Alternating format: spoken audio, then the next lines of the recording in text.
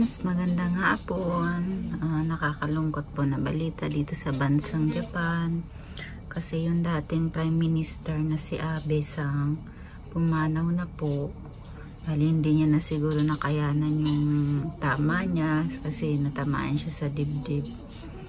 Ah, kaninang 11.45 ano, bali yun yung news sa TV maghapon. Maghapon akong nanood, sinubaybayan ko uh, pinagpray ko pa si Abisang sana makaligtas siya kaya lang siguro kinuha na talaga siya ni Lord uh, pagpray na lang po natin yung kanyang ano uh,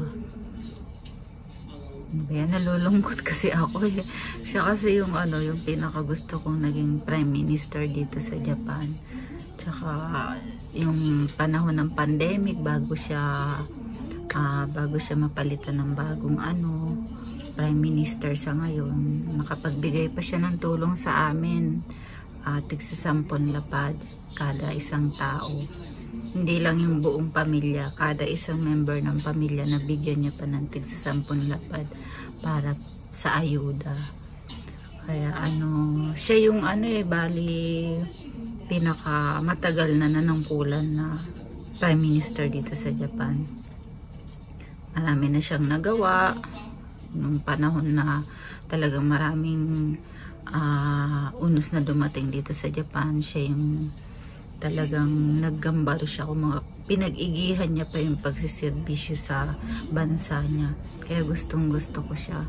Kaya nalungkot ako ngayon um, sa balita. Maghapon siya sinubaybayan ko yung news sa TV yan kaya hindi ako nag-vlog-vlog ngayon kasi nga nagulat nga ako sa balita. Nakakalungkot lang.